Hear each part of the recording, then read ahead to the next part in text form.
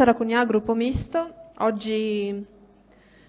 Prego, prego. Oggi siamo qui per eh, definire e cercare di sviscerare quello che è una, eh, una delle cosiddette vere emergenze che purtroppo il nostro Paese sta affrontando in questo momento in cui la democrazia è stata negata e, e viene continuamente vilipesa, alla luce anche della proroga dello stato d'emergenza, che purtroppo è stata riconfermata anche con il voto alla Camera di questi giorni, e alla luce anche del voto favorevole alla Commissione parlamentare d'inchiesta sulla diffusione intenzionale massiva di informazioni false attraverso la rete internet e sul cosiddetto diritto all'informazione e alla libera formazione dell'opinione pubblica. In questo periodo di emergenza Covid e di gestione dell'emergenza coronavirus sappiamo che la libertà di espressione e di manifestazione del pensiero sono state effettivamente messe a dura prova. E, ehm, questo per quanto riguarda ovviamente non quelle che sono e continuano ad essere purtroppo i canali ufficiali del mainstream ufficiale, ma quelle che sono invece eh, i canali e eh, le azioni libere di eh, entità e di, ehm, e di eh, testate che sono scevre completamente da conflitti di interessi.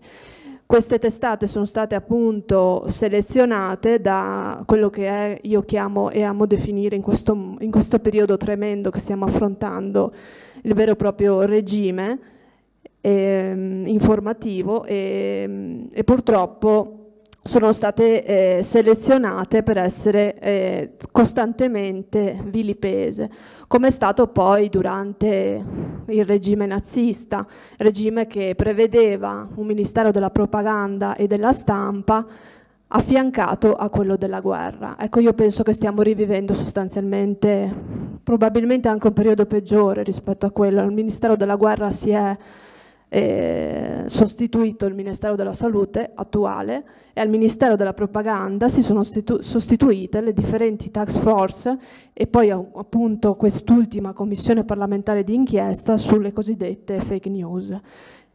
In questo senso il sistema non rispetta quindi né il diritto dell'informazione, il pluralismo dell'informazione e tantomeno l'articolo 21 che prevede che tutta la stampa, e quindi non solo quella di regime, possa, non possa essere soggetta a, a autorizzazioni e censure. E questo arriva fino al punto di censurare attraverso i canali Facebook e YouTube addirittura le dichiarazioni di voto di un parlamentare, la sottoscritta, attraverso i canali considerati non ufficiali.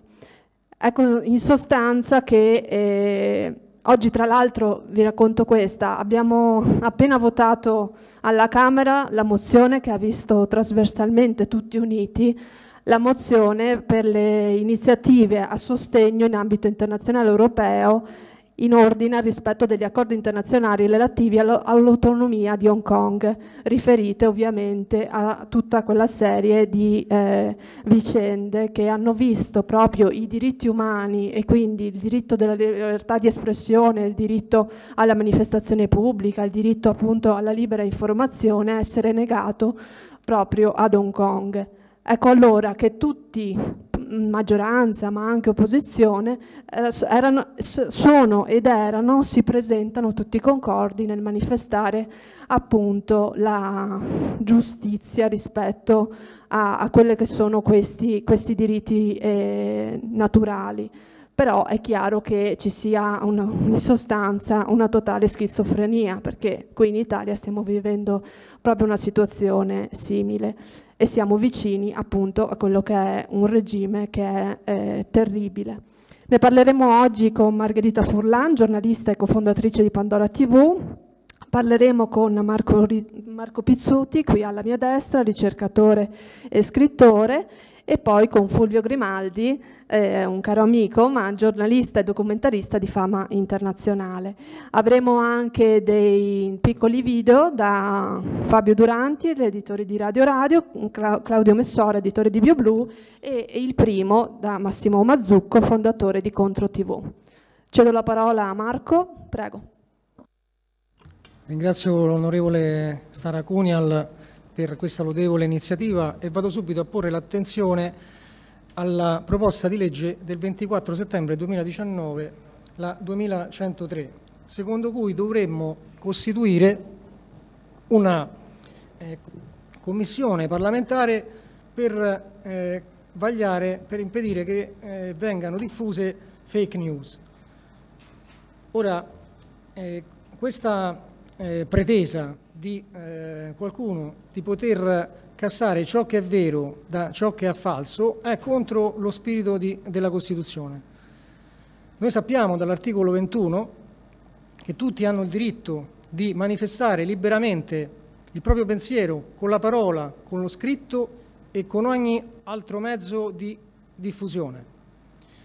Quindi eh, in, la nostra Costituzione è entrata in vigore nel 1948 e ancora non c'era il web, ma ovviamente eh, eh, se ci fosse stato avrebbe ricompreso anche questo. Si usciva da una dittatura e con queste norme si intendeva porre un argine invalicabile proprio per eh, un eventuale reinsediarsi di un regime, che è quello che vediamo un po' adesso.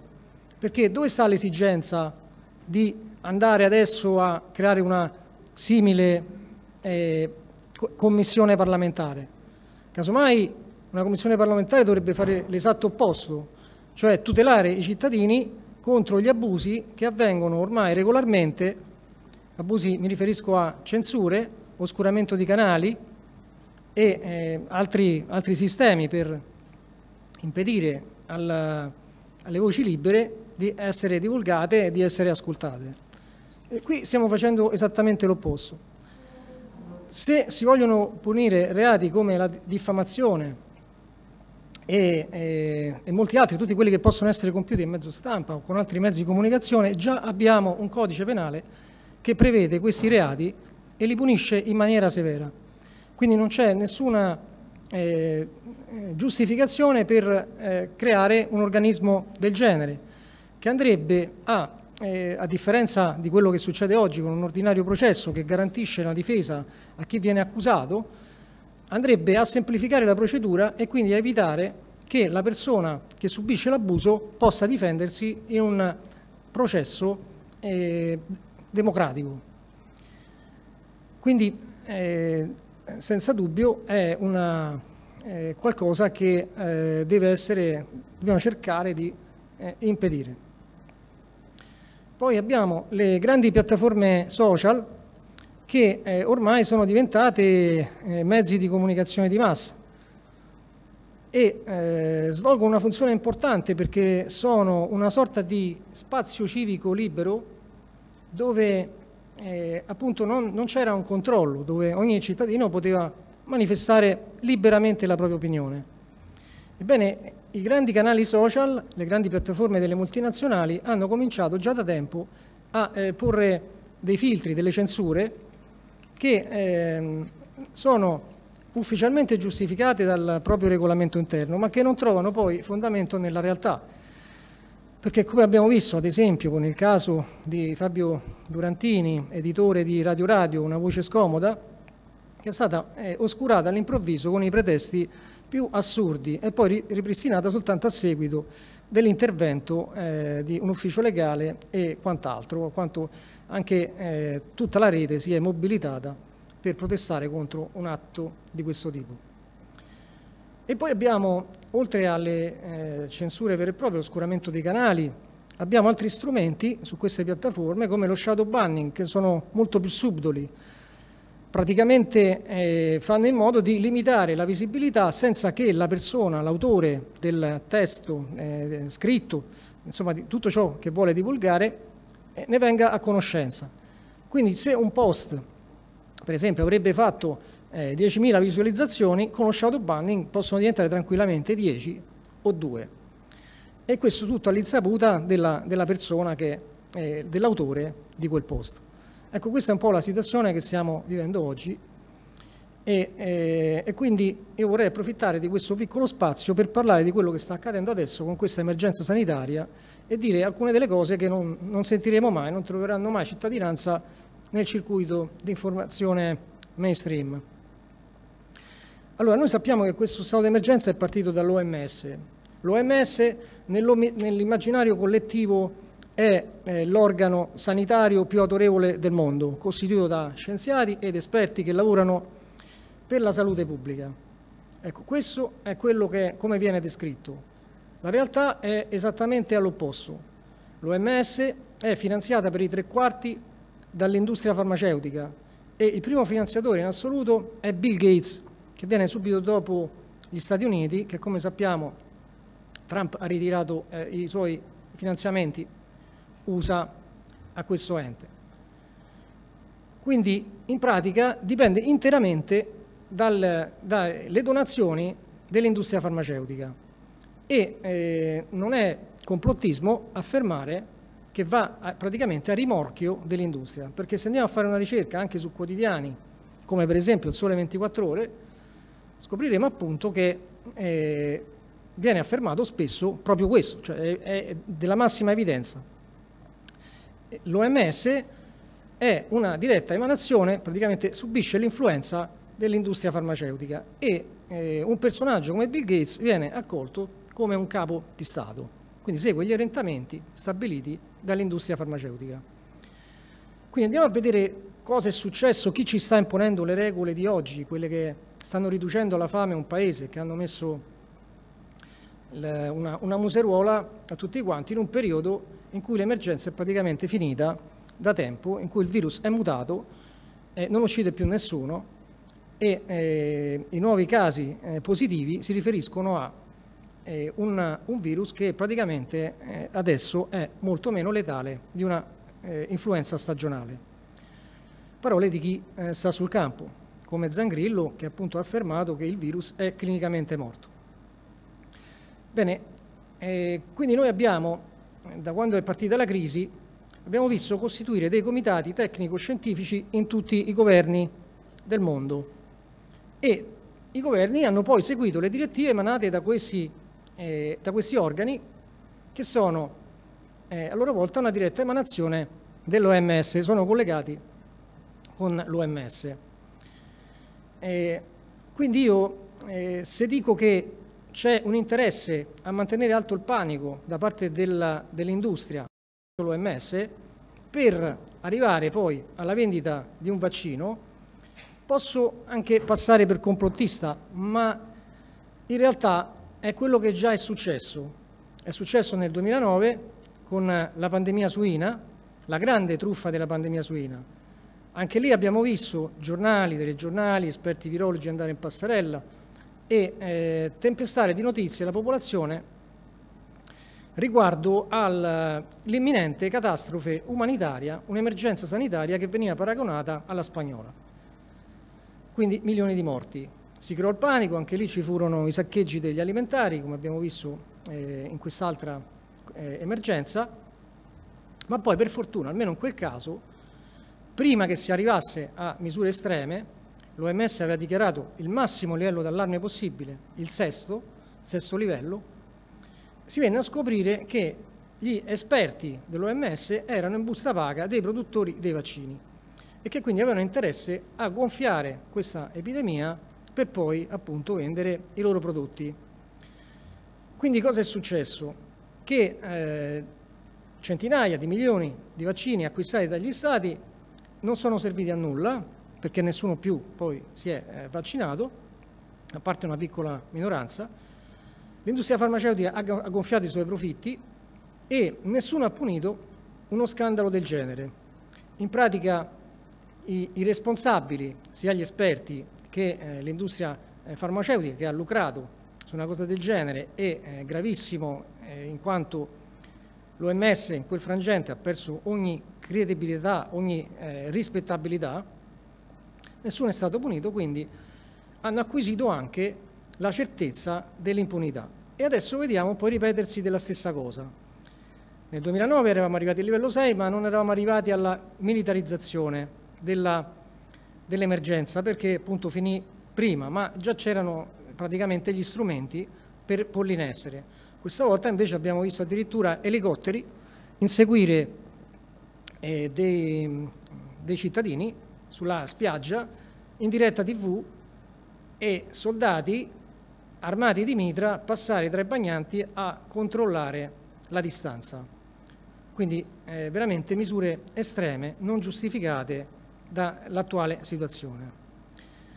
Noi vediamo che praticamente l'industria eh, farmaceutica ha posizionato i suoi uomini di fiducia in tutte le poltrone che eh, presiedono alla regolamentazione delle normative sanitarie e alle eh, strategie sanitarie.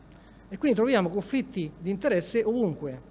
Persino l'EMA, che è l'Agenzia Europea per il Farmaco, è finanziata per l'84% dall'industria farmaceutica e quindi è, è assolutamente un ente che non può dirsi autonomo. Anche le associazioni mediche, quasi tutte le associazioni mediche ricevono donazioni dall'industria farmaceutica che ha moltissimi amici. Nel 2015 il presidente della, eh, eh, dell'Agenzia per il controllo del, del farmaco italiano dell'AIFA, Sergio Pecorelli, si è dovuto dimettere a seguito di un'accusa di conflitto di interessi gravissima, di terzo livello, praticamente che eh, non consente di svolgere nessun tipo di attività in nome di questo ente. Nel 2018 eh, Walter Ricciardi è stato accusato anche lui di conflitto di interessi con l'industria farmaceutica e produttori di vaccini. Walter Ricciardi è lo stesso eh, professore che collaborò alla stesura della legge Lorenzin che portò i vaccini da 4 obbligatori fino a 10, anche se nelle sue intenzioni dovevano essere 12 e poi per fortuna è stata limitata solo, tra virgolette, a 10.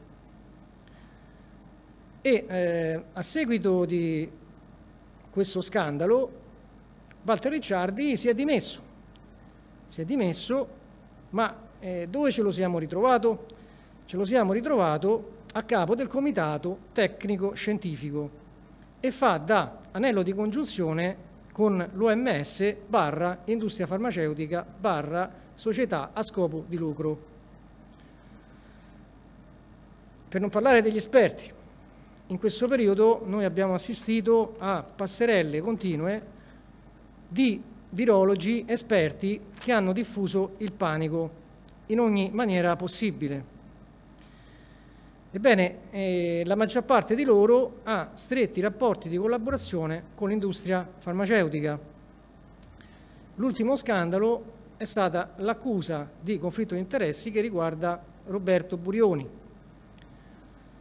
denuncia che è arrivata dal Codacons. Ecco, poi eh, una cosa che tutti dovrebbero sapere è di quale scienza parlano quando questi esperti vanno in televisione perché spesso eh, si additano come rappresentanti del mondo scientifico, come gli unici ed esclusivi rappresentanti del mondo scientifico. Allora, nell'immaginario collettivo la scienza è sempre oggettiva, quindi se un farmaco è efficace e non ha effetti collaterali, eh, non può essere eh, affermato altrimenti. In realtà è vero l'opposto. Eh, la scienza eh, può, è di due, di due categorie la, scienza, la ricerca scientifica indipendente e la ricerca scientifica finanziata dall'industria. Infatti eh, gli esperti, i ricercatori, conoscono il cosiddetto effetto finanziamento. Che cosa significa? Che a livello statistico eh, tutte le ricerche finanziate dai produttori finiscono sempre a loro vantaggio. Quindi se sai prima da chi è finanziata la ricerca, sai anche che esito avrà. Se la Coca-Cola finanzia uno studio per sapere se la Coca-Cola fa male, le conclusioni saranno che la, la Coca-Cola non solo fa bene, ma che magari potrà anche sostituire la frutta. Questa sostanzialmente è, è la situazione eh, oggi, insomma, e, e purtroppo non, la, eh, i cittadini non sanno, quando appunto eh, parlano gli esperti, a cosa si riferiscono esattamente. Ora, eh, come si fa poi a rendere degli studi scientifici spa spazzatura autorevoli? Beh, ci sono molti modi. Uno di questi è pubblicare sulle riviste più autorevoli del mondo, come ad esempio il Lancet o eh, il New England Medicine eh, Journal. E cosa, eh, cosa succede eh, in queste riviste? Anche queste riviste per sopravvivere hanno bisogno di finanziamenti perché hanno una bassa tiratura e eh, loro, una delle loro eh, maggiori voci d'entrate sono gli inserti pubblicitari pagati dall'industria farmaceutica. Quindi l'industria farmaceutica ha una forte influenza su queste riviste. E Richard Smith, l'ex direttore del British Medical Journal, quindi una persona della massima autorevolezza, ha denunciato lo scandalo dei ghostwriter. Che cosa sono? In pratica multiluminari vengono pagati per consulenze d'oro dall'industria farmaceutica e di conseguenza sono molto compiacenti. E finisce spesso che arrivano a firmare delle ricerche scientifiche mai condotte da loro come se fossero le proprie, ma che in realtà sono state preparate dai direttori di marketing delle aziende farmaceutiche. Ecco, questo è uno dei, dei, primi scandali, ma ne abbiamo eh, uno recentissimo che riguarda proprio la rivista più autorevole del mondo, il Lancet, e, eh, e anche la New England eh, eh, Journal of Medicine. Perché? Perché è stato pubblicato uno studio sulla clorochina, una, un farmaco che dà molto fastidio a chi vuole mantenere alto il panico, perché sembra in, in grado di curare egregiamente, efficacemente il Covid-19. E quindi come altre terapie, come l'immunoterapia, l'ozonoterapia, eh, eccetera, tutte le terapie che eh, funzionano sul campo vengono ostacolate eh, dall'alto. Insomma è comparso questo studio dove si sosteneva che la clorochina è, eh, oltre che inefficace, anche ha effetti eh, collaterali importanti. E cosa è successo? Che eh, dopo la pubblicazione hanno protestato molti scienziati, hanno preteso di vedere i dati su cui era fondata questa ricerca e quindi poi da lì eh, ci si è accorti che eh, in realtà questa ricerca era stata pubblicata da una società che aveva come editor scientifico niente poco di meno che un eh, autore di fantascienza e che tra i sei dipendenti della società c'era una modella porno. Ora, io quello che mi chiedo, che, su cui dovrebbero riflettere tutti, è come si fa a pubblicare su due delle riviste più prestigiose del mondo una, rivista, una ricerca spazzatura del genere. È molto difficile poter avere accesso a queste riviste, quindi se è stato possibile, e non una volta, ma addirittura su due, significa che qualcuno di molto influente ha eh, permesso che accadesse, ha fatto pressioni affinché venissero pubblicate. Quando poi eh, la ricerca è stata ritirata, ne sono però comparse altre come funghi, questa volta fatte un po' meglio, proprio per sostenere la stessa cosa. Sta di fatto comunque eh, che se qualcuno aveva interesse a screditare la clorochina per mantenere alto il panico sul, eh, e, e, all'attesa messianica per il vaccino, perché se andiamo a sentire quello che dicono eh, gli espertoni del comitato scientifico e l'OMS, potremo tornare alla normalità soltanto quando arriverà appunto questo vaccino. Ecco, quindi eh, la situazione eh, alla fine è andata eh, in maniera tale che la clorochina è stata demonizzata, anche se esistono tante ricerche, eh, la maggior parte delle quali è a favore di questo prodotto. E poi cosa è successo? che eh, l'OMS ha eletto come primo farmaco anti-Covid il Remdesivir, un farmaco che eh, il Financial Times aveva descritto in uno scoop, eh, grazie a un documento pubblicato accidentalmente proprio dall'OMS, aveva descritto come con effetti collaterali talmente pericolosi che avevano dovuto sospendere la sperimentazione. Poi sono arrivate altre ricerche dopo che hanno sostenuto esattamente l'opposto e adesso è diventato un farmaco che ha meno effetti collaterali di un vaccino.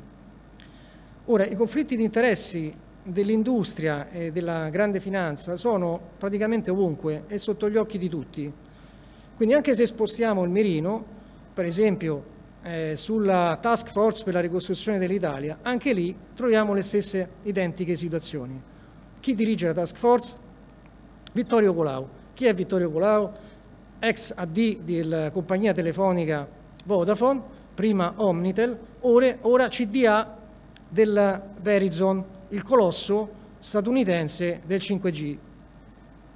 E eh, quando 520 sindaci eh, delle nostre città hanno chiesto di rispettare il principio di precauzione, in virtù del fatto che circa 200 scienziati autorevoli di tutto il mondo eh, si oppongono all'installazione 5G senza studi per la sicurezza della salute, la risposta del governo è stata un decreto semplificazioni che ha semplificato fino al punto di praticamente asfaltare i sindaci, nel senso che non possono più eh, creare alcun impedimento all'installazione delle antenne. So quanto tempo mi rimane. Va bene, io eh, concludo eh, soltanto un accenno a come poi viene tenuta su questa emergenza con i DCPM, atti amministrativi che sono assolutamente incostituzionali perché hanno eh, un valore che è inferiore a quello della legge ordinaria e nonostante questo vengono utilizzati per limitare diritti fondamentali garantiti dalla Costituzione. Ora, questo non lo dico soltanto io, ma lo dice anche il, Presidente della Corte eh, Costituzionale e l'ex Presidente Baldassarre, sempre della Corte Costituzionale. L'unico eh, motivo in dottrina per cui potremmo accettare eh, questo tipo di atti amministrativi è una situazione di emergenza equiparabile allo stato di guerra. Quindi lascio, eh, concludo con questo, che l'unica vera emergenza non è sanitaria ma è democratica. Grazie.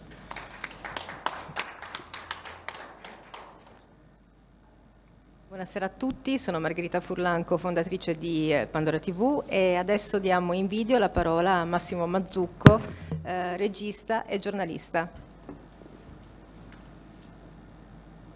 Visto che il tema di oggi è l'informazione, ho deciso di rivolgermi direttamente a tutta la categoria dei giornalisti, perché ovviamente siete voi l'ingranaggio cruciale che manda avanti il meccanismo dell'informazione. Voi giornalisti avete scelto un lavoro bellissimo, informare la gente.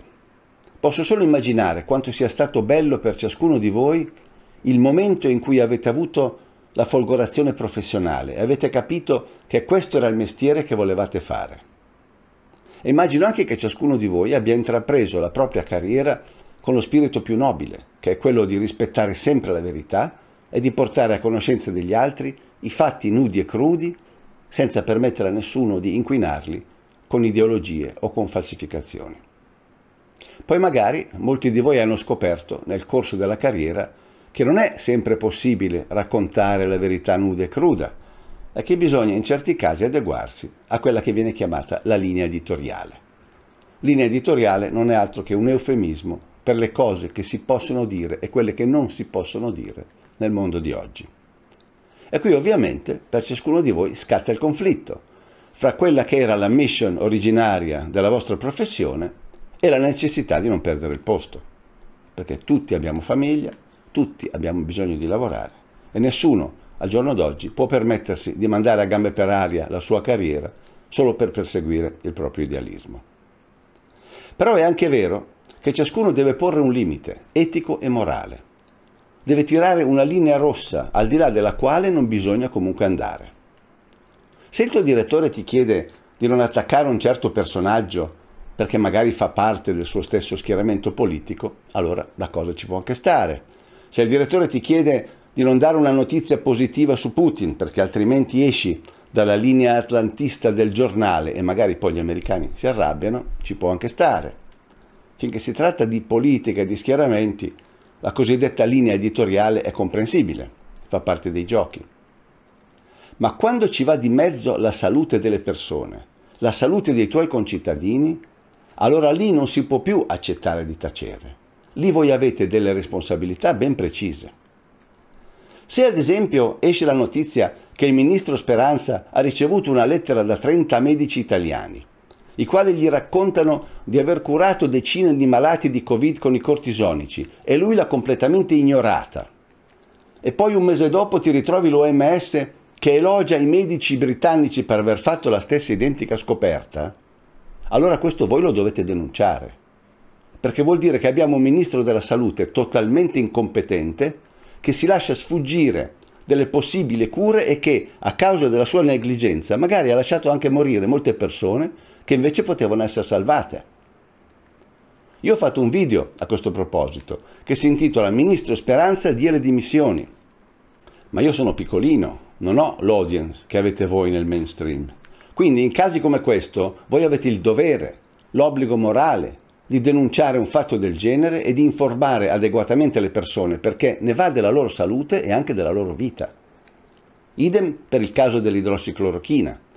Avete fatto tutti dei titoloni cubitali per dirci che l'idrossiclorochina non solo non curava il Covid, ma addirittura poteva essere dannosa solo perché lo diceva il Lancet. Ma poi quando è venuto fuori che la ricerca del Lancet era una frode plateale basata su dati assolutamente inesistenti, voi avete dato la smentita in tre paragrafi piccoli piccoli a pagina 15 e nessuno l'ha vista. Tant'è vero che ancora oggi l'Istituto Superiore di Sanità non autorizza l'uso dell'idrossiclorochina contro il Covid. Mentre doveva essere tutto il contrario. La notizia che l'idrossiclorochina era dannosa andava presa con le pinze, visto che è un medicinale che si usa in tutto il mondo da oltre 50 anni. E quando la ricerca dell'Anset si è rivelata una frode, quella doveva essere messa in prima pagina a titoli cubitali. La gente deve sapere che c'è qualcuno che manipola le ricerche scientifiche per un proprio tornaconto personale. E da chi deve venire a saperlo, se non da voi che avete scelto come mestiere quello di informarli? Altro caso clamoroso. Zingaretti mette l'obbligo per il vaccino antinfluenzale a tutti gli over 65 nella sua regione, con la scusa che in questo modo faremo prima a distinguere i malati da Covid. Ora, a parte che questa è una giustificazione senza il minimo fondamento scientifico, cioè è una barzelletta in realtà, e non ci vuole un genio per capirlo, ma c'è addirittura il fatto opposto, ovvero che la vaccinazione antinfluenzale rischia di aumentare le possibilità di contrarre il coronavirus. È uscita una ricerca del Pentagono nei mesi scorsi che dice che per il noto fenomeno chiamato interferenza virale, chi fa il vaccino antinfluenzale ha il 36% in più di possibilità di contrarre il coronavirus. Anche il Ministero della Salute inglese ha detto la stessa cosa. Chi fa il vaccino antinfluenzale rischia più degli altri di contrarre il coronavirus. Trovate tutto nel mio video intitolato Messaggio a Zingaretti che sta su YouTube. Quindi in questo caso non solo siamo di fronte a una violazione dei diritti della persona obbligando il cittadino ad un trattamento sanitario con il quale magari non è d'accordo. Ma siamo anche di fronte ad un rischio sanitario sostanziale per tutta la popolazione. Se voi non date queste informazioni correttamente, rischiate di diventare complici di un eventuale aggravamento della situazione del Covid in autunno. Tenetele presente queste cose, non fate finta di non averle sentite. Ora io capisco, voi direte, ma se il mio direttore non mi permette di dare certe notizie, io cosa ci posso fare? Certamente, finché combattete da soli, la vostra è una battaglia persa. Se continuate da soli a insistere per pubblicare notizie del genere, è chiaro che prima o poi rischiate di perdere il posto, oppure vi ritrovate a fare la cronaca rosa nei paesini di provincia. Ma voi non dovete combattere da soli, ciascuno la propria battaglia personale.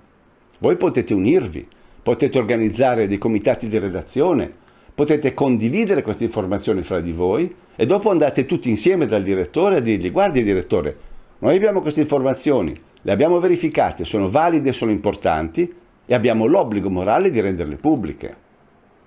A quel punto, se il direttore si trova davanti a una redazione compatta che chiede cose nel nome e per la salute dei vostri concittadini, non penso che possa far finta di niente anche perché voi eventualmente potete poi denunciarlo pubblicamente se non vi dà retta. Quindi coraggio, organizzatevi, non state solamente lì seduti a fare da passacarte per le veline dell'ANSA, non è questo il mestiere che avete scelto. Datevi da fare, tirate fuori il vostro orgoglio, fate le vostre ricerche personali e cercate di rendere alla nazione il servizio che siete stati chiamati a svolgere, quello di informare correttamente le persone su quello che accade e che riguarda direttamente la salute di tutti noi. Grazie.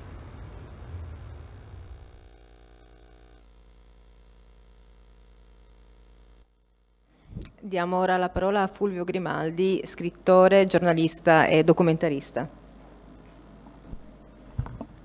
Allora, quello che dico io di solito che dirò adesso, nel tempo più breve possibile e chiedo a Sara di lanciarmi qualche cosa quando è il momento di tacermi. Non sarà gradito ai miei colleghi in maggioranza, in particolare in quelli in, in remoto, come si usa dire adesso. Però io a giustificazione di quello che dico, una storia, um, ahimè, anagraficamente molto lunga e quindi professionalmente molto lunga, che parte dalla metà del secolo scorso e che incomincia con la BBC e finisce con la RAI, passando per varie testate nazionali e internazionali, che mi danno quindi una certa idea di quello che è successo nel corso del tempo alla nostra informazione. Io direi che la nostra informazione di oggi sta a quella che ho conosciuto nella seconda metà del secolo scorso, forse come l'orso libero di oggi, il famoso K. Papillon, all'orso che in qualche maniera era sì, incatenato, ingabbiato. Quello di oggi ha intorno a sé un limitato spazio in parte colonizzato, non è perfetto, ma si muove, in qualche maniera ha delle scelte. Quello della gabbia non ce l'aveva. L'informazione che sta oggi nelle, nella nostra prospettiva di lettura e di visione è quella dell'orso nella gabbia ma è un orso che è rassegnato, non è come questo intelligentissimo e coraggioso e non rassegnato che scavalca tutti gli ostacoli più impensabili e si riappropria ad una limitata libertà data in queste contingenze. Noi siamo anche oggi in una condizione, direi, avvicinandomi alla politica, che assomiglia a quello, oggi siamo nella condizione di come oggi sono i 5 Stelle rispetto a come erano dieci anni fa, per dire. Potrei anche dire che oggi noi siamo in una condizione che ci fa avvicinare nel confronto a un Gennaro migliore rispetto a un Aldo Moro. Cioè c'è stata una degenerazione mh, organizzata, ehm, programmata, calcolata e fatta alla perfezione che è stata possibile attraverso la concentrazione delle proprietà. Abbiamo oggi degli oligopoli di stampa e non abbiamo più possibilità di uscirne perché quelli che sono ancora fuori, i piccoli, i provinciali, eccetera, o si attengono alla direzione degli oligopoli, Gedi, Elkan, De Benedetti, Cairo, eccetera, oppure non vivono perché non gli si dà la pubblicità e comunque sembrano strani, non sono in armonia con la data generale e quindi poco credibili. E noi abbiamo una situazione per cui si è chiesto in una precedente conferenza stampa che si dovrebbe sciogliere l'ordine dei medici e allora l'ordine dei giornalisti. In una situazione come questa dove una totalità della stampa in politica estera come in politica interna, sul Covid come sul 5G, eh, sulla Russia e sulla Cina e sugli Stati Uniti e sull'Iran, eccetera, è assolutamente compatta. Non ha una varietà, non ha una mm, dialettica, non ha una, uno scambio che razza di informazione ci può dare. Dall'estrema destra, parlo del manifesto, di Repubblica, dell'Espresso, all'estrema sinistra, che non c'è, sono tutti quanti una unica voce, che corrisponde più o meno alla voce del deep state americano, che è quello che poi è, tiene i suoi tentacoli, in quanto si è raccontato fino adesso nelle precedenti conferenze stampa, cioè nel grande conglomerato farmaceutico e nel grande conglomerato digitale delle piattaforme. Ecco, io vorrei fare un piccolo uh, rapporto, che è la cosa che ha insegnato Maria Montessori a noi, e ce ne siamo dimenticati quasi tutti quanti, che bisogna guardare alle connessioni, ai dettagli, ai legami tra le cose, roba che raramente nella stampa di oggi, nella televisione di oggi si riesce a riscontrare, viene fatto, cioè i collegamenti le connessioni che illuminano uno scenario complessivo. Si vede una cosa, se ne vede un'altra, li si separano. C'è stato addirittura un ucase di questo governo che attraverso la sua famosa task force dell'informazione, cosa inconcepibile in quello che si definisce democrazia. C'è dentro un David Puente che viene da Repubblica, che tra l'altro cura una bella pagina di Enrico Mentana che si chiama Open, dove si denunciano sistematicamente tutti gli eretici, tutti quelli fuori strada, tutti quelli che dicono le fake news, che dicono cazzate. È un delatore, non è un giornalista. Tutti gli altri sono dei PR, pubbliche relazioni, propagandisti, reclam. Va bene, questa gente, questa, questa task force eh, che contiene questo tipo di soggetti, chiaramente tutti quanti estratti dalla stampa mainstream, che si deve definire stampa di regime, eh, non, hanno mai, non hanno mai permesso che si collegasse il Covid, il virus, al 5G. Beh, nelle, nell'evidenza. Gli uomini del Covid sono gli uomini del 5G. Sono interconnessi, sono anche gli stessi Bill Gates è un uomo di Big Pharma, ma è un, anche un uomo che lavora con Microsoft, o era il capo di Microsoft, cioè del digitale. Sono interconnessi, dipendono uno dall'altro. Perché dipendono uno dall'altro?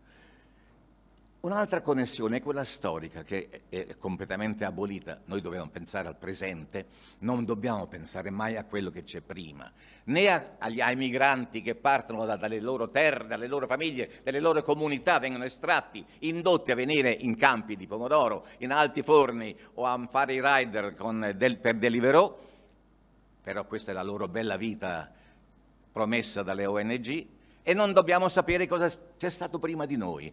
E allora qualcosa che c'è stato prima di noi invece ci insegna a capire che questi hanno dei progetti di lunghissima durata, di grande gittata nel tempo, molto di più di noi che non ci stiamo, che non ci piace, che li combattiamo. Taylorismo. Incominciava allora, pensa come la pensano lungo questi qua. Quando l'operaio, il lavoratore, faceva il suo lavoro, faceva un lavoro che risultava il suo lavoro, era il suo prodotto. Poi viene il taylorismo, poi viene Ford, poi viene la catena di montaggio e il lavoratore, l'operaio è espropriato del suo prodotto. Non si può più riconoscere in questo prodotto, non gli occorre neanche più l'intelligenza, la cultura, la preparazione per, quel, per fare quel prodotto complesso deve soltanto muovere una cosa, attaccare una cosa, spingere una cosa, ripetutamente, infinitamente, fino al totale annichilimento culturale e di intelligenza. Ed ecco già un uomo che diventa, da uomo, un minus abens, un minus est. Non soltanto il non avere, ma il non essere, che sono poi le cose intrecciate secondo le aspettative dell'elite. Quell'elite che è lo 0,0,0,0,01% dell'umanità, però ci detta tutto quanto. Lì è incominciata, oggi siamo arrivati a un punto molto avanzato, dove il midus habens deve essere proprio annientato, annichilito. Lo si è attraverso la lo si fa, lo si raggiunge attraverso la separazione. Ed è qui che la informazione, i media entrano in campo intimandoci di stare separati come il potere tecnoscientifico che detta le sue cose a quello politico, di cui è cane da guardia non dell'opinione pubblica, ma di questo consesso tecnoscientifico politico, non più politico, obbediente, eccetera, e, e, e impone all'opinione pubblica questa, questa situazione della separazione. Quando c'era il terrorismo c'erano ancora una cosa che dava fastidio, c'erano le masse gli operai, per quanto sulla catena di montaggio, erano tanti e uscivano insieme ed entravano insieme e si guardavano negli occhi e si organizzavano. E tutti quanti così, anche negli uffici, nelle scuole si stava insieme, ci si confrontava con gli abusi anche a volte dei grandi, degli adulti, di casa e di scuola. E si cresceva in questa maniera, uniti. E questo va abolito. Questo concetto della massa che fa una paura fottuta a questo 0,00001% andava distrutto e questo è il progetto Covid e questo è il progetto 5G, 4G, 6G, quello di disconnetterci connettendoci. Ci dicono siamo tutti connessi, siamo tutti in una rete. è uno è separato dall'altro e non deve conoscere l'altro, la mascherina, non deve capire che faccia all'altro e non far capire all'altro che faccia a lui, che sguardo a lui, che espressione a lui, deve essere bianco, flat, piatto, cioè dis, dis, di, spersonalizzato e decorporizzato. E noi siamo corpi, se non siamo corpi non siamo più niente. Non, più non dobbiamo più essere neanche corpi uniti, dobbiamo essere corpi separati. E dalla mattina alla sera i nostri mezzi di informazione, dando prova della totale mancanza di minimamente avere una coscienza di giornalisti, cioè di comunicatori di verità, far comprendere le cose e quello che c'è dietro alle cose. Quando lo fai sei complottista. E questa è la nostra stampa e questo è quello che dobbiamo da questa stampa, da queste autorità politiche, tecnoscientifiche, apprendere, di stare lontani uni dagli altri.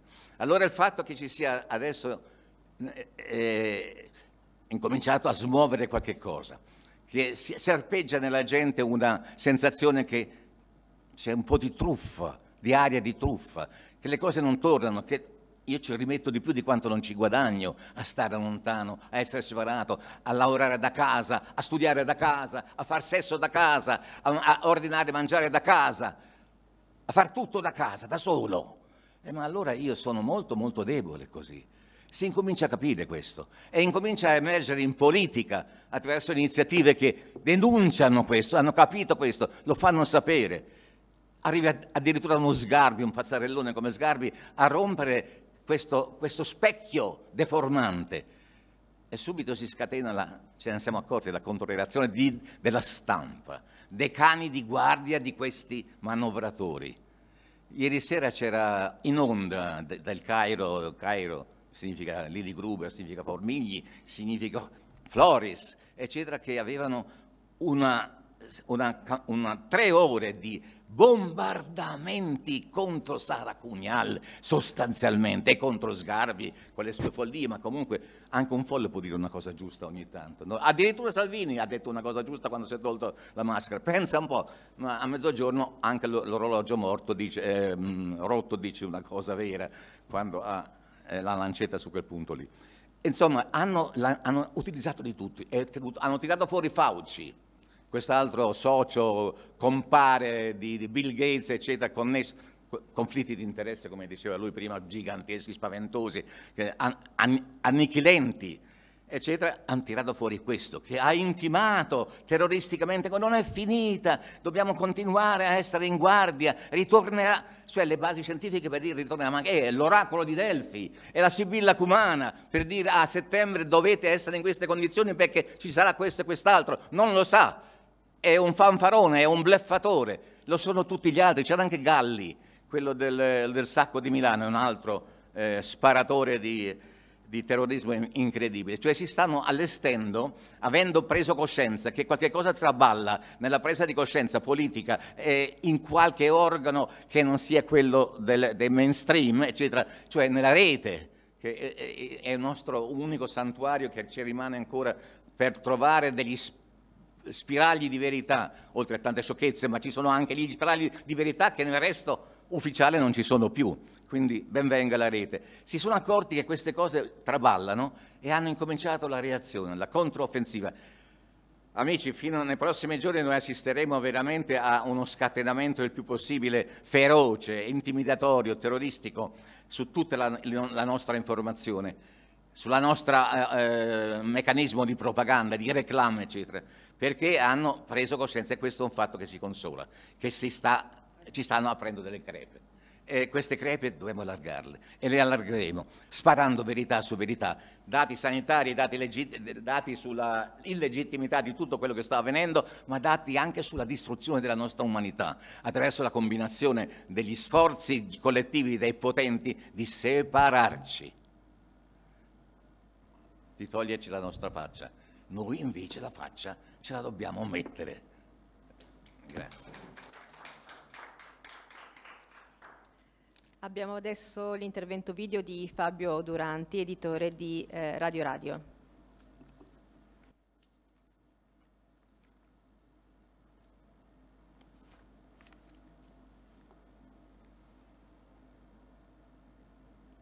Dovrebbe arrivare.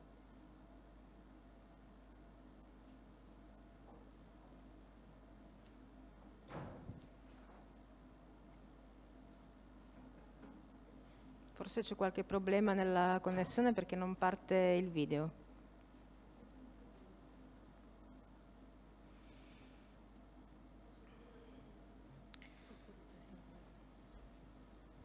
Procedo con il... Funziona? Buon pomeriggio a tutti, un saluto ai presenti. Ringrazio l'onorevole Saracunial per avermi invitato a discutere di questo argomento così importante, così spinoso e così d'attualità in questo periodo, la libertà di informazione. Eh, oggi si discute dell'istituzione di una commissione cosiddetta per il controllo delle false informazioni in rete e anche non in rete. Eh, l'argomento va da sé, è, è, discutibile, ora non staremo qui a fare una lezione di diritto perché né mi compete né ne abbiamo il tempo.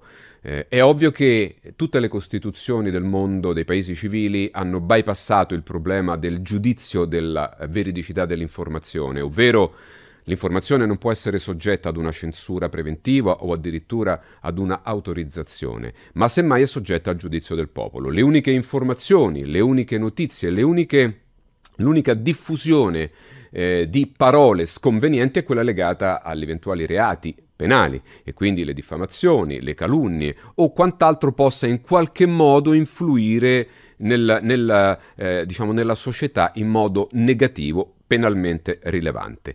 Eh, ma eh, questo è un, un argomento devo, del quale devono occuparsi eventualmente persone preposte, terze, assolutamente terze, ovvero i giudici.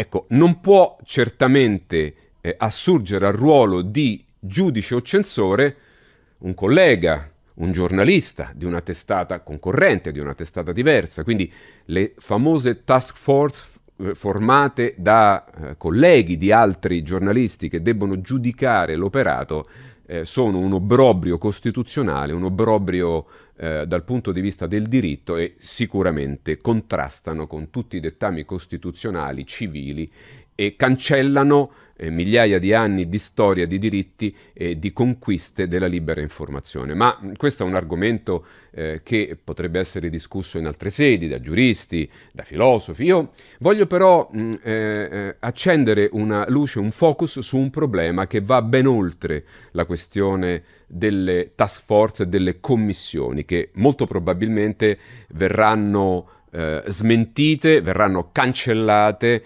eh, quando verrà sottoposto al giudizio di una eh, magistratura superiore eh, il provvedimento che è contrario alle leggi costituzionali. Ma eh, il punto è un altro, e cioè la libertà di informazione. È chiaro che eh, la libertà di informazione non è mai stata gradita al potere costituito. I potenti hanno sempre contrastato la libertà di informazione perché eh, eh, dissentire rispetto al pensiero unico è sempre stato l'incubo di qualsiasi governante che voglia conservare eh, in eterno il proprio posto. E quindi si è sempre intervenuto in qualche modo. Nei periodi di dittatura c'erano i ministeri della verità o c'era comunque, uh, c'erano delle forze eh, di polizia che intervenivano sui dissenzienti. Però questo eh, è apparso eh, come una cosa brutta, negativa, certo, ma soprattutto una cosa che poteva essere toccata, mh, che poteva essere mostrata e quindi che indignava.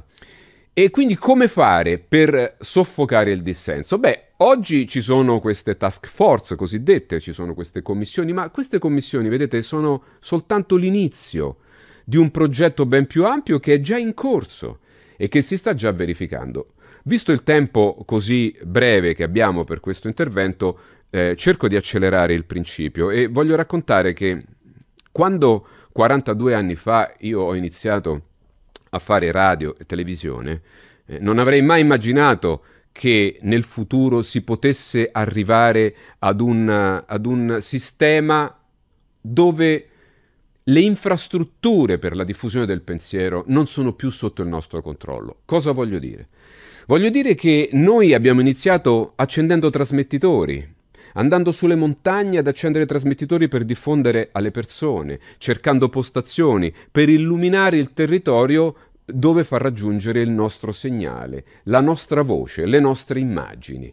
Abbiamo lottato tantissimo, molti anni, lo stiamo facendo ancora perché ancora ci sono problemi legati eh, in parte a false credenze sulle onde elettromagnetiche che nelle frequenze radiotelevisive si sa sono sostanzialmente innocue, ma, ehm, ma soprattutto anche per, per me si, si continua a lottare, ma questa lotta probabilmente di qui a breve, se non verranno modificate le attuali norme, se non verrà modificato l'andamento, eh, che, ove si sta andando, saranno completamente inutili. Quindi tutto il lavoro che noi avremo fatto eh, di eh, costruzione di infrastrutture indipendenti, inamovibili, se non per ovviamente un provvedimento di un giudice, per qualche motivo, per una diffamazione, per, per atteggiamenti ovviamente penalmente rilevanti, ecco, che quello è l'unico motivo per il quale tu puoi fermare un'informazione. Ecco, tutto questo finirà perché noi stiamo andando verso un'informazione interamente veicolata dalla rete.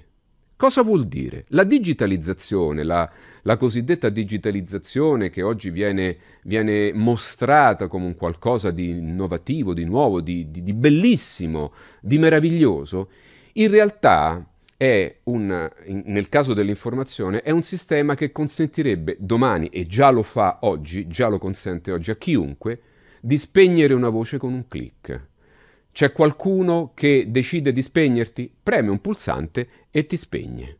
Ecco perché l'informazione che passa per la rete è sempre un'informazione soggetta ad un giudizio terzo che non è un giudizio eh, che proviene da un ente di garanzia, ma è un giudizio di un privato.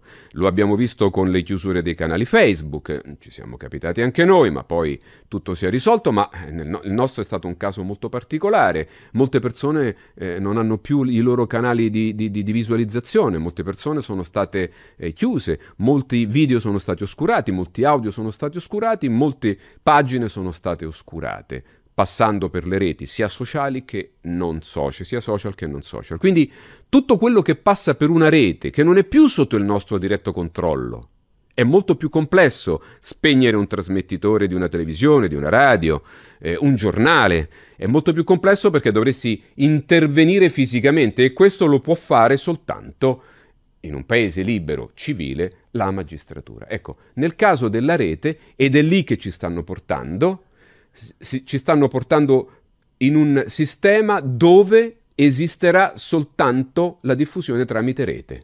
Le radio solo sullo streaming, non si vendono più ricevitori con la FM ad esempio, quindi la digitalizzazione porta ad avere un unico padrone o padroni che possono premere un pulsante e spegnerti, così come con il denaro ti potranno spegnere un conto corrente e tu non sarai più nessuno, così con la informazione non servirà più fare le commissioni per le fake news, le commissioni che decidono chi dice il giusto e chi dice, eh, eh, e chi dice una cosa sbagliata eh, o, o, addirittura chi deve essere tacciato, perché per tacciare una, una persona, per tacciare un mezzo di informazione, Basterà premere un pulsante con una scusa qualsiasi o anche senza una scusa qualsiasi, perché le policy lo prevedono. Ecco, questo è il problema del futuro, è il focus sul quale noi dobbiamo concentrarci per impedire che la libera informazione sia un lontano ricordo di democrazie che hanno avuto negli anni 70-80, almeno qui in Italia, il loro reale compimento e che ora stanno svanendo e le vediamo svanire sotto i nostri piedi. Grazie per l'attenzione.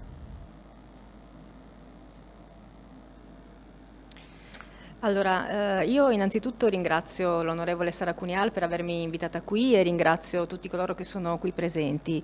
Eh, noi qui oggi vogliamo parlare, mm, come mi ha consigliato l'onorevole Sara Cunial, eh, soprattutto in particolar modo dell'ultima commissione anti-fake news che è stata votata ieri alla Camera e un'altra commissione, voi direte, certamente perché eh, evidentemente pare che ci sia un problema di informazione, un problema giornalistico, come qualcuno di noi sottolineava prima.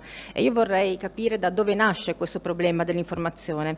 Inutile negare che siamo in un momento di straordinaria transizione a livello globale e qualcosa è cambiato dunque anche per noi, per noi tutti giornalisti di tutto il mondo, che prima eravamo abituati da sempre al monopolio dell'informazione inteso come l'esclusiva di poter parlare da uno a tanti. Oggi invece questa esclusiva non l'abbiamo più Per tornare a essere autorevoli, dunque, occorre cambiare molte delle cose del vecchio mestiere. E come fare? Prima di tutto imparando a cercare la verità, noi stessi, in un mondo in cui la verità è diventata merce ed è diventata merce rara. Il giornalista ha infatti un dovere, informare correttamente i cittadini.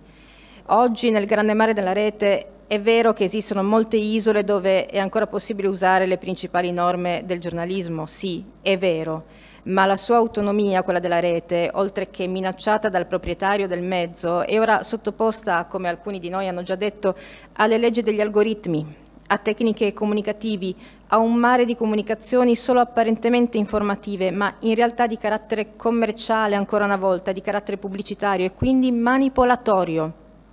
È il mercato, è il mercato con la sua forma, con le sue esigenze che decide tutto, anche il giornalismo, anche l'informazione. Così la comunicazione, perché effettivamente non è più il caso di parlare di informazione, ma di comunicazione, che in questo modo diventa affannosa, diventa frenetica, diventa permanentemente pirotecnica. Anche questo tipo di informazione diventa un inganno, finisce per affogare in un inganno ancora più tragicomico, che consiste nella falsificazione dei contatori dei contatti perché è ormai chiaro a tutti che la quantità dei contatti che i padroni del web ci comunicano non corrisponde affatto ai contatti reali. E i contatti reali non corrispondono affatto ad un pubblico fedele.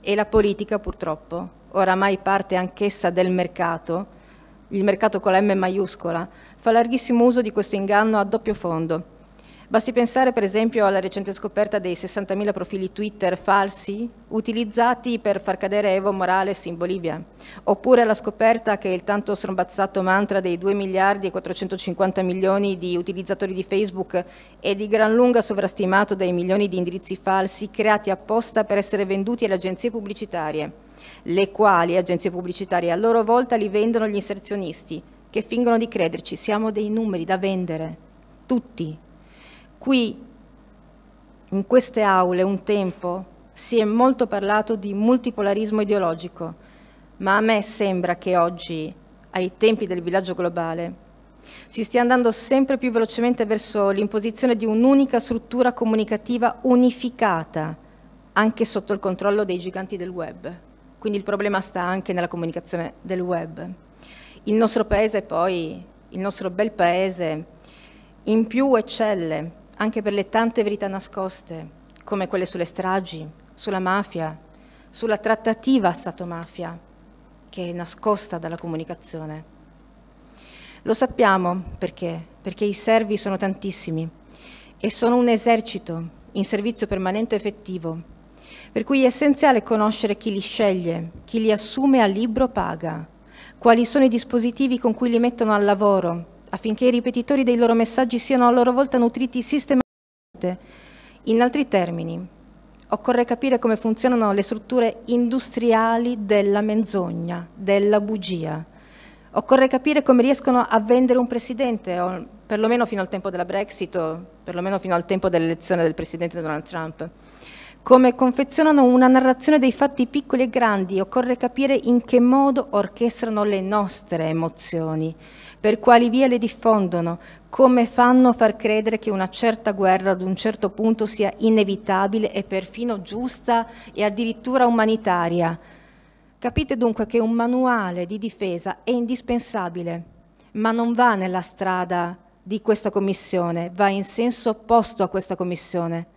Per scrivere questo manuale, infatti, basterebbe ricordare, prima ancora del Covid, alcune storie che ci sono passate sotto gli occhi in un certo modo, alle quali abbiamo creduto così naturalmente, semplicemente, e invece dopo, solo dopo, ci siamo accorti che erano proprio un'altra cosa. E come ce ne siamo accorti? Semplicemente dopo aver spento gli schermi della televisione, dopo aver ripiegato i giornali, dopo che abbiamo sottoposto a verifica sul nostro computer sul nostro cellulare quello che avevamo letto, quello che avevamo visto e sentito e noi siamo stati fortunati perché abbiamo avuto questa possibilità, diversamente da milioni di persone che non hanno avuto lo strumento intellettuale per far funzionare il proprio cervello autonomamente da ciò che veniva loro offerto. E ciò non è dipeso dal fatto che non avevano un cervello disponibile, ma è dipeso dal fatto che avevano una sola versione dei fatti e non pensavano che ve ne fosse nessun'altra possibile, non potevano pensarlo. Ecco la prima regola dei manipolatori, eliminare, oscurare, cancellare ogni visione alternativa è la censura. Poi c'è una seconda regola che definirei però fondamentale in questo caso, una colonna importante di ogni manipolazione. Consiste nel dirottare l'attenzione. Vi spiego un tipico caso. Tu sostieni ad esempio che la versione ufficiale dell'11 di settembre è falsa, ma non hai ancora finito di pronunciare il titolo della tua tesi che devi fronteggiare l'accusa di essere un complottista. Cioè tu personalmente sei un complottista. Cosa voglia dire la parola, tra l'altro, non è chiaro ma è chiaro che è un insulto e qualunque lettore o spettatore lo ha già assorbito come un insulto automaticamente. Oppure, e questo è un procedimento un tantino più sottile, un pochino più fine, devi fronteggiare l'accusa di negazionismo, come sta succedendo ora.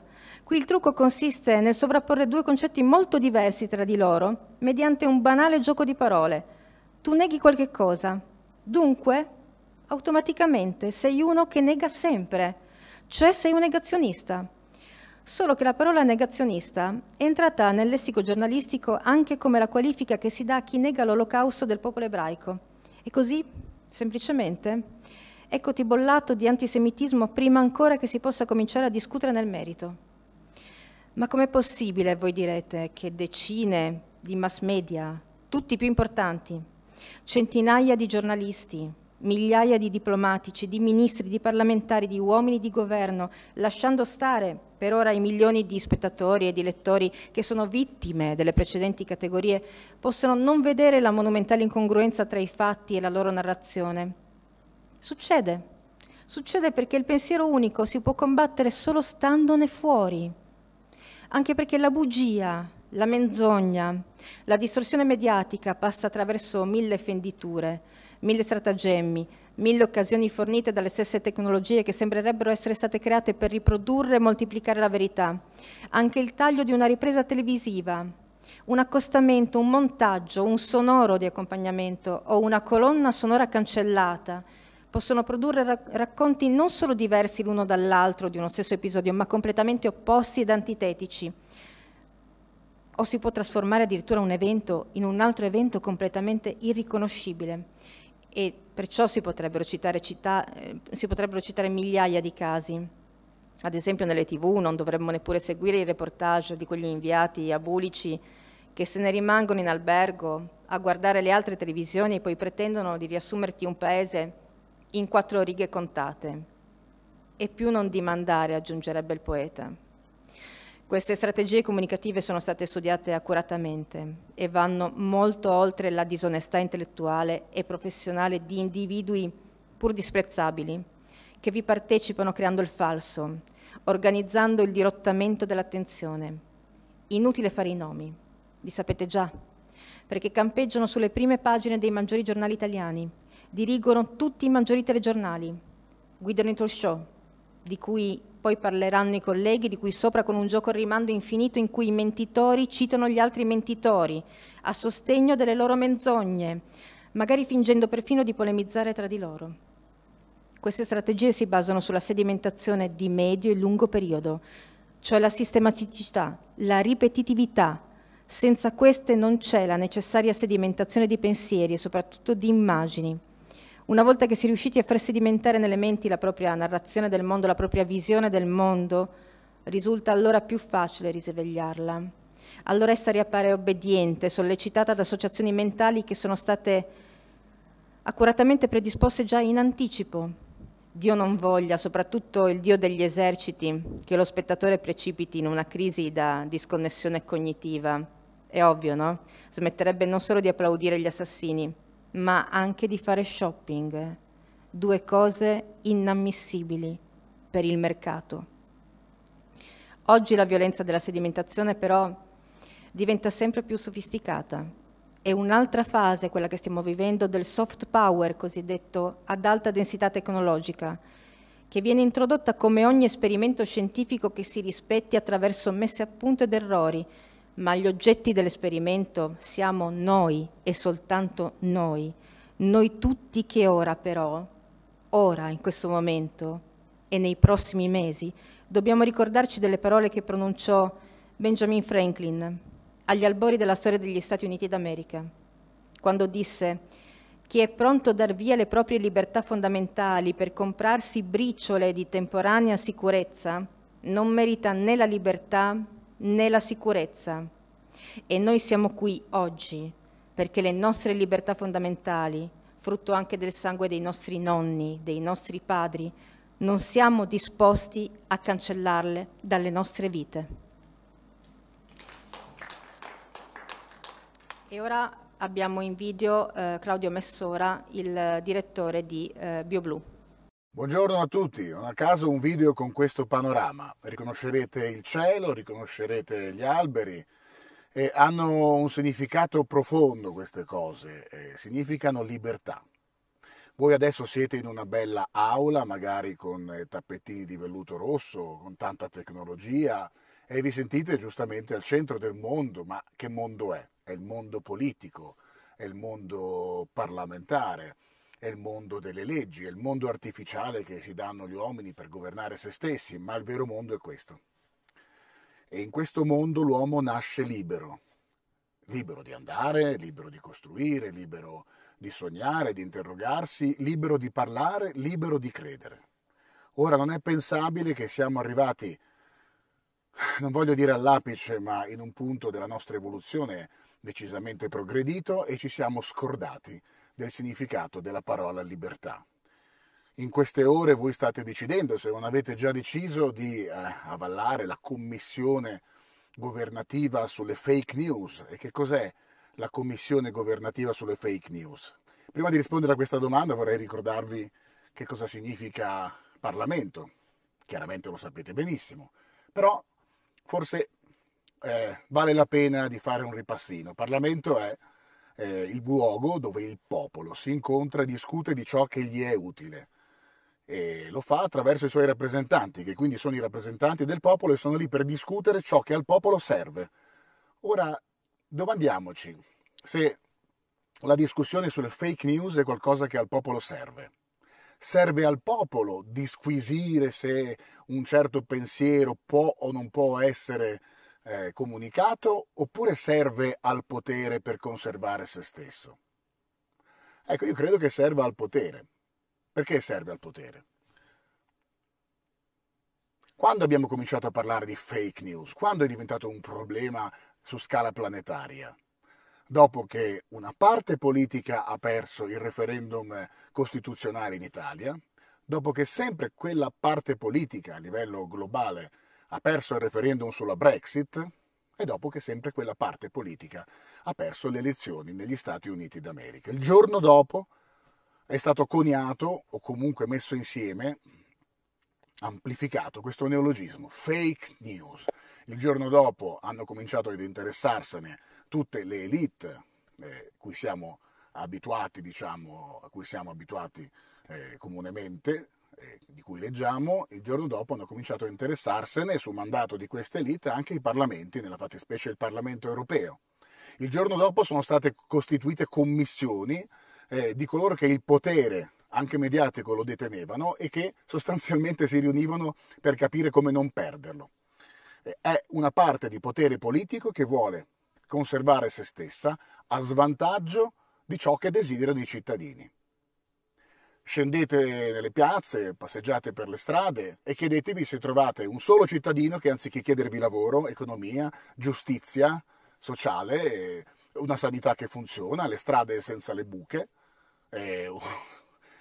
che chiede di non andare in cassa integrazione, che chiede di non rimanere chiuso in casa, vi dica, eh no, mi scusi onorevole, lei deve fare qualcosa contro le fake news. È chiaro che questo non avviene, non avviene perché la gente non importano accidenti, anzi limitare eh, questa, questa, ossessione nei confronti delle fake news, che di per sé sono un fenomeno, se mai esiste, che è sempre esistito, cioè eh, il fatto che ci possa essere qualcuno che racconta delle balle e che non deve essere per forza identificato nella rete, perché se davvero ci volesse essere qualcuno che combatte, che racconta le balle, la prima cosa che dovrebbe fare è andare nelle sedi dei grandi giornali, entrare nelle sedi televisive e andare dai direttori piazzati lì, dai capi dei loro referenti politici e dirgli perché hai raccontato una balla. Questo non avviene, avviene soltanto nel luogo deputato alla libertà della rete. E la risposta è dentro di voi, come diceva Coelho. Avviene in questo modo perché... Le news che sono ritenute fake, che danno fastidio, sono quelle che non sono controllabili dal potere costituito. E così avviene che mentre vivevamo la più grande crisi politica della storia dell'umanità, eh, è stata dedicata un'immensa quantità di energie e di risorse per la creazione di commissioni di nominati, neanche eletti dal popolo, neanche rappresentanti del popolo, di nominati governative, che chiaramente richiamano sinistre, eh, sinistre allusioni a epoche della storia passata, dove era l'esecutivo che decideva ciò che poteva o non poteva essere non detto, ma finanche pensato. E queste commissioni hanno svolto il loro lavoro in maniera abbastanza opaca e contemporaneamente quello che abbiamo assistito è che i social network che erano nati insieme alla rete, chiaramente come loro emanazione, eh, come luogo di libertà dove il popolo poteva scambiarsi informazioni, discutere, come se fosse un grande bar, venivano improvvisamente oscurati, censurati. E non venivano censurate soltanto le ipotesi o le teorie dei pazzi che gridavano alla luna, anche se io rivendico che ognuno abbia il diritto di pensare e dire quello che vuole, perché le informazioni si combattono, quelle cattive, con le buone informazioni. Eh, si combatte con il confronto, ci si rende disponibili al confronto ed è questa la maniera migliore di smontare qualunque balla, che sia di regime, che sia dei media mainstream o che sia presente in rete. Bene, eh, venivano invece oscurati anche i video di scienziati, eh, responsabili di unità operative delle università, semplicemente perché non dicevano quello che l'OMS in quel preciso momento diceva. Se l'OMS diceva che le mascherine fanno male, loro dicevano che fanno bene. Se l'OMS diceva che le mascherine fanno bene, loro dicevano che fanno male. Se l'OMS diceva che bisogna lavarsi le mani, loro dicevano attenzione che lavarsi troppo le mani può fare male. Se loro dicevano che lavarsi le mani fa bene, l'OMS diceva che eh, lavarsi le mani invece fa male. E abbiamo assistito proprio a questo pendolo impazzito. E eh, amministratori delegati di grandi social network come il CEO di YouTube hanno dichiarato pubblicamente che loro censurano e oscurano qualunque video che vada contro le indicazioni chiaramente del momento dell'Organizzazione Mondiale della Sanità. Non importa se si trattasse di video di cittadini oppure di video di accreditati eh, dottori o scienziati, piuttosto che di testate giornalistiche i video sono stati sistematicamente oscurati, la libertà è stata improvvisamente e drasticamente ridotta. Abbiamo vissuto uno dei periodi di oscurantismo eh, più forti eh, da che esiste il genere umano e sicuramente da quando è nata la rete. Però questo non ha rappresentato la fine delle voci scomode dei cittadini che non sono autorizzate dal potere a circolare nei palazzi, ad essere emanate e radiodiffuse dai network. Questo ha rappresentato un incentivo, un trampolino, perché la prima regola della libertà è che vince sempre. La libertà trova sempre la sua strada. E così, ad esempio, noi siamo diventati una testata giornalistica, mi riferisco a BioBlue, eh, e siccome anche come testata giornalistica sui social eravamo continuamente a rischio di oscuramento, ci siamo costruiti le nostre app diffuse su tutti i dispositivi e la gente si sta scrivendo. E siccome volevamo avere tutte le garanzie costituzionali che i social non potevano garantire, suppressione di quelle commissioni di nominati decise da un esecutivo, allora abbiamo acquistato delle concessioni ministeriali per trasmettere sul digitale terrestre. Cioè coloro che hanno, eh, diciamo, spinto eh, per, perché esistesse una commissione governativa contro le fake news hanno ottenuto che, che, quelle voci libere e indipendenti che venivano accusate di diffondere fake news solo perché diffondevano appunto scienziati che non facevano magari parte del patto per la scienza o, o che non erano colleghi e amici di coloro che eh, tutte le domeniche andavano in televisione intervistati sempre dallo stesso conduttore, senza contraddittorio, perché lì il contraddittorio non si chiede mai. Sulle reti mainstream il contraddittorio è vietato, ma va benissimo così. Bene, proprio queste persone hanno trovato una strada che mai avrebbero pensato di poter percorrere. Quindi questa è una dimostrazione. È una dimostrazione che la compressione delle libertà è una strada sbagliata. Eh, io ho creato un network, un network anche televisivo adesso, non si chiama BioBlue, si chiama Davvero TV. Perché si chiama Davvero TV? Perché volevo essere inclusivo. Pensavo che non eh, sarebbe stato giusto limitare soltanto a noi la possibilità di continuare a parlare, la possibilità di continuare a godere di quell'espressione del libero pensiero che è garantita dalla nostra Costituzione continuamente eh, minacciata dallo stesso potere politico che grida le fake news. E così eh, l'ho chiamata in un altro nome, in maniera che fosse un cappello omnicomprensivo, condivisibile da tutti, e sto raccogliendo tutte quelle voci di informazione libera, indipendente, autorevoli o magari meno autorevoli, per quanto poi la parola autorevolezza possa avere un significato, perché voglio, credo fermamente che la libertà di espressione e di parola debba essere garantita e voglio che sia garantita per tutti tutti significa tutti.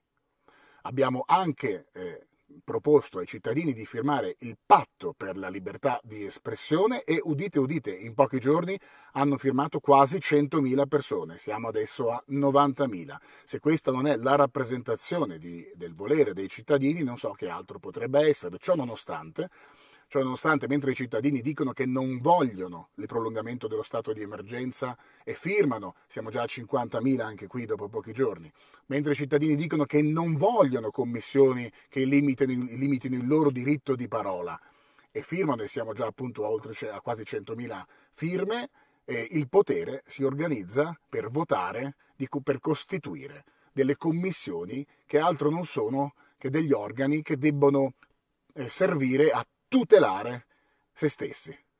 Il potere si organizza per costruire organi che tutelino se stessi e la loro voce. È l'inversione del meccanismo di rappresentanza popolare. La rappresentanza popolare si basa sulla sovranità, lo sapete tutti, siete lì, quindi articolo 1 della nostra Costituzione, bene. Eh, qui si teorizza l'opposto. La sovranità appartiene ai parlamentari e i cittadini non valgono più niente. I cittadini possono dire, fare, baciare, pensare soltanto se pensano, dicono, fanno, baciano quello che noi diciamo, facciamo, pensiamo e baciamo.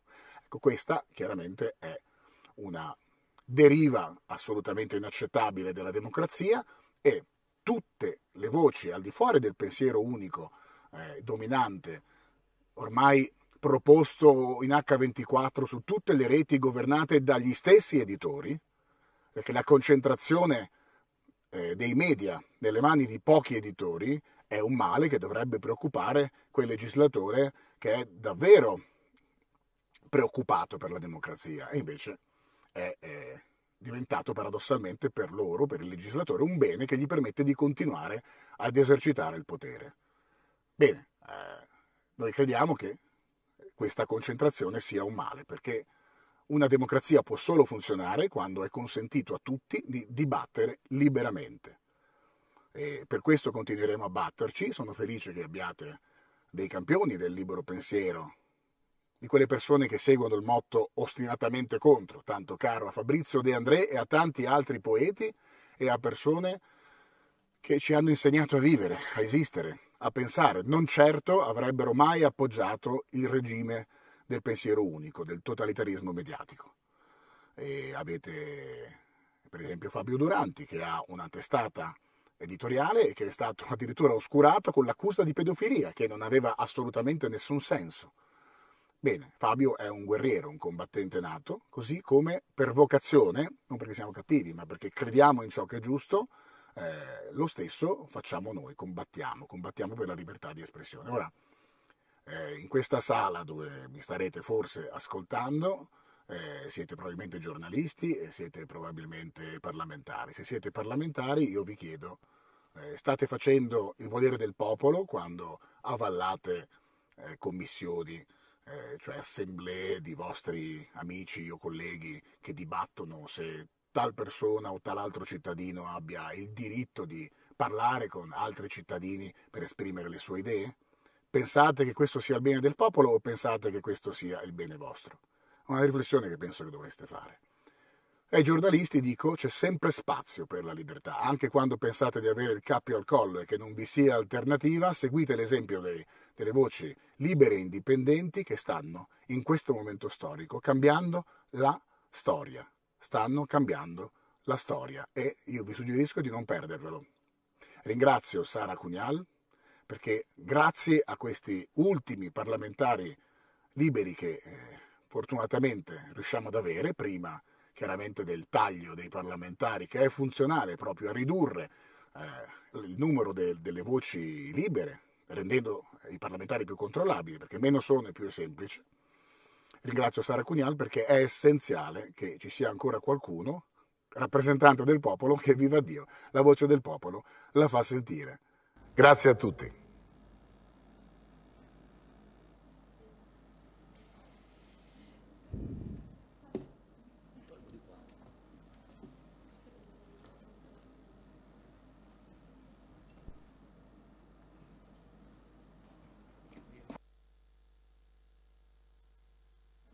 Bene, ringrazio tutti i partecipanti a questa interessantissima conferenza, invito tutte le persone che stanno guardando questo video online di vedere anche i video precedenti. Io faccio un intervento come Presidente della Commissione Vigilanza sul pluralismo dell'informazione della Regione Lazio, quindi in questo ruolo istituzionale, dicendo che eh, molto brevemente cosa emerge da questa, questo interessantissimo confronto. Eh, chi sono i colpevoli? Di chi è la colpa di tutto questo? E se dobbiamo cercare i colpevoli dobbiamo solo guardarci allo specchio perché noi cittadini italiani abbiamo permesso che l'informazione possa, in questi ultimi anni, eh, possa essere degradata in questo modo, perché non abbiamo mai messo in discussione quello che vedevamo in tv, quelli che erano i titoli dei giornali, quello che era il, il mainstream. Ci siamo, come dire, assuefatti anno dopo anno, direttore dopo direttore, a questo racconto unico. Abbiamo perso forse il senso critico nel poter valutare le fonti dell'informazione. Bene, l'informazione ha questo ruolo fondamentale, i giornalisti hanno questo dovere di verificare l'informazione e dare l'informazione. Spesso ormai ci siamo persi questo principio base di poter verificare la fonte. Vi faccio due esempi molto concreti. Uh, Conte. Conte è un premier di un paese importante che sta dando informazioni su una pandemia, ma nessuno mette in discussione addirittura l'elemento principale, il numero di morti. Il numero di morti è un tema su cui stiamo facendo una, una retorica, una propaganda nazionale, su cui nessuno pone alcuna domanda. E un giornalista dovrebbe chiedersi, ma questo numero di morti è esattamente questo oppure no? Partire da questa domanda permetterebbe di aprire un'inchiesta giornalistica, abbiamo tanti giornalisti in inchiesta in Italia, che potrebbe portare a tante possibili letture alternative di questi numeri e della relativa emergenza. Esiste ancora l'emergenza, diciamo, non è più sanitaria ma è democratica. Forse arriverebbe anche a riflettere su questo tema. E poi un altro esempio di fake news, come dire, istituzionale. Nicola Zingaretti. Eh, vi faccio questo esempio perché nella mia regione è un classico esempio di fake news di un alto profilo istituzionale. Lui dice da 4-5 anni che il Lazio è uscito dal commissariamento della sanità senza nessuna documentazione né prova ufficiale, fa conferenze stampa, fa annunci e tutti i giornali prendono questa notizia senza verificare la fonte. È stato fatto nel 2017, 2018 e l'ha fatto nel 2020, pochi giorni fa. Tutti i giornali hanno riportato questa notizia senza verificare minimamente se esista un documento scritto istituzionale che possa garantire questa, questa verità. Quindi vedete, il giornalismo è, come dicevamo, fatto di fondamentali e di libertà di informazione. Questo è quello che manca.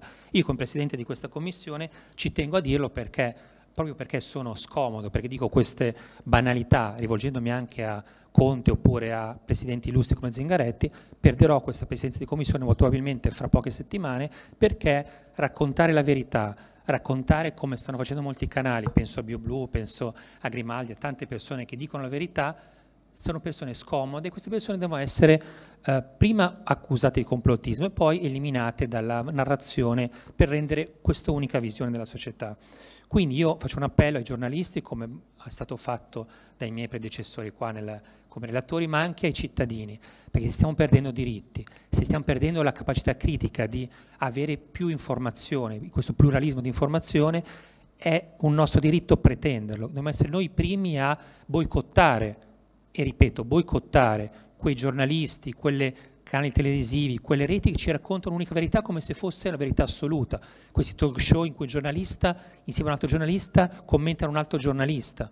Dobbiamo non più accendere, loro vogliono spegnerci la, i nostri canali informativi, siamo noi i primi a spegnere quella televisione che ci racconta quella falsa verità. Noi abbiamo questo potere immenso come cittadini, possiamo boicottare chi ci dà una falsa verità, ma soprattutto appoggiare, sostenere, ascoltare quei canali di informazione indipendente che adesso esistono, stanno unendo le forze, vediamo questi progetti molto interessanti, siamo noi i primi a dover staccarci da Google, Amazon, Microsoft, Facebook e andare a ascoltare questi canali informativi che sono gli unici in questo momento che hanno un controllo altare all'informazione di mainstream. Quindi sta tutto nelle nostre mani, se vogliamo uno Stato di diritto, di informazione libera, di pluralismo, oppure possiamo rassegnarci ad essere sudditi, schiavi e persone ormai inconsapevoli di quella che è la realtà.